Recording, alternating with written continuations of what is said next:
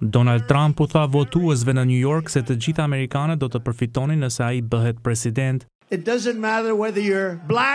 Nuk ka rëndësi nëse je afrikano-amerikan, i bardhë apo i ndonjë ngjyre tjetër, ne jemi të gjithë amerikanë dhe do të bashkohemi si amerikanë.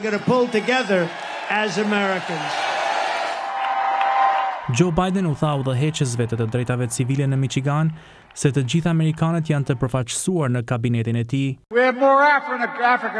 Në administratën tonë kemi më shumë afrikano-amerikanë, gra dhe pjesëtarë të komuniteteve të tjera pakicë se në çdo administratë tjetër në historinë e vendit tonë. Kjo është arsyeja pse po ecim kaq mirë. Zoti Trump dhe zoti Biden po bëjnë fushatë për të tërhequr afrikano-amerikanët, vota e të cilëve mund të jetë përcaktuese në zgjedhjet e nëntorit në shtetet e lëkundura, Të dhënat e organizatës Pew Research tregojnë se çështjet kryesore për afrikano-amerikanët në zgjedhjet e këtij viti janë përmirësimi i sistemit arsimor dhe forcimi i ekonomisë. Zoti Trump thotë se do t'i trajtojë të dyja çështjet.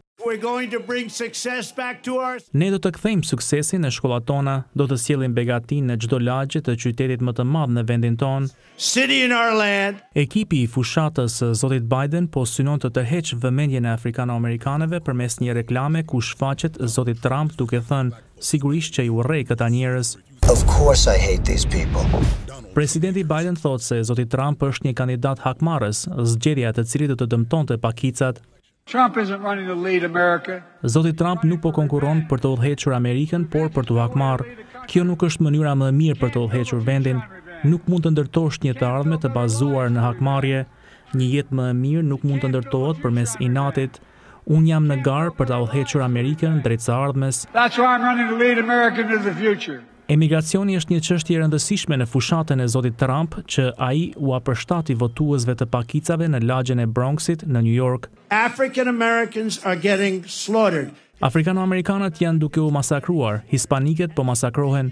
Ardhja e miliona njerëzve në vendin tonë ka ndikimin më të madh negativ tek popullatat afrikano-amerikane dhe hispanike të vendit tonë